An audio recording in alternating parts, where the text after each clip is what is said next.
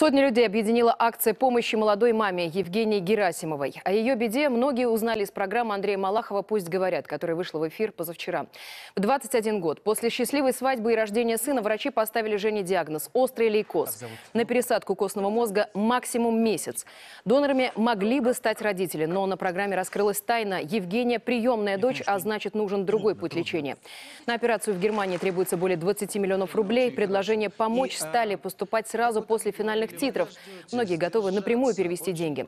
Спасти девушку призывали и в соцсетях знаменитости. Неравнодушной к ее беде осталась fashion-директор московского ЦУМа Алла Вербер, которая была в студии. В прошлом она сама перенесла страшное заболевание.